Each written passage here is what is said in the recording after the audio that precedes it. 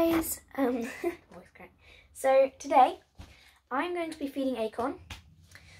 I've just made a video of my hamster haul and I got these two feeding items.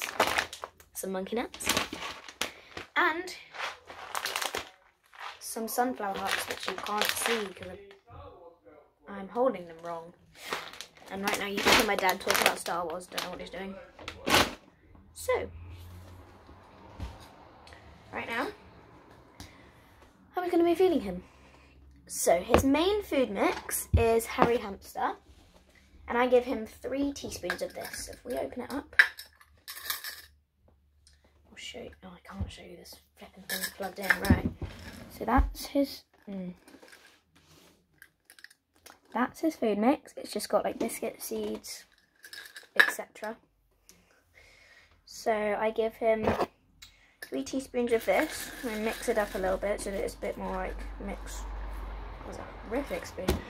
Um, so that it's just a bit more like balanced and there's not tons of one for every one thing. Um, he's a bit of a picky eater, so he doesn't normally eat much of it, but. Mm yeah. So I give him three teaspoons of this as just like a base mix. I normally just try and make it like balanced so he doesn't have too much of everything. And then I give him, in the Harry Hamster mix, there is pumpkin seeds, but I only give him one just because they're massive. And Acorn, also not his favourite thing in the world. So then I clip that back up, put that down. So next, I Oh, I'm an idiot. Oh, I'm stupid. Anyway, I left the mealworms in the box and you are, well, the camera is standing on the box, so it's going to be annoying.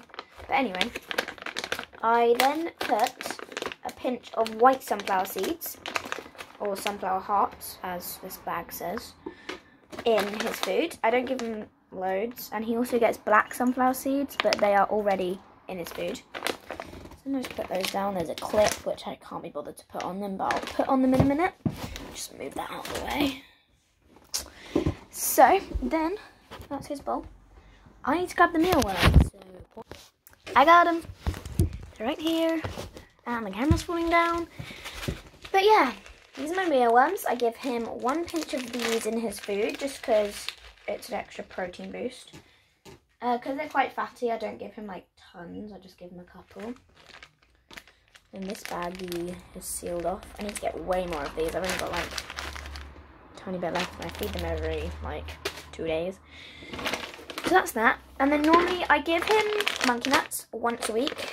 But since I didn't have any this last week even, so I'll just give him one today. And then he can get one at the weekend as well. So if we prise these open, better. I grab him one of these out. They're just monkey nuts with a shell. Drop one of them in. And yeah, that is basically it. Because I do have lots of salad left, I might actually sprinkle like a little bit of leaves and flowers in his food. Just because. And then I'll put that back. Mix it all up a little bit. Just make sure he's got like a balance. That is a full food bowl, but I actually haven't fed him for ages, so he's going to love that. I filmed this instead of... That is what his bowl looks like.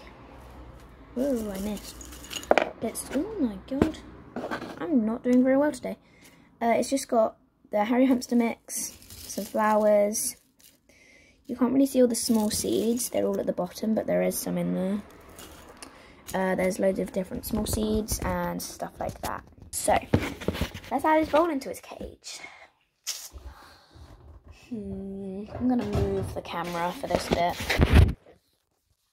Because oh, it doesn't have much charge, does it? Ugh. Had to unplug it though.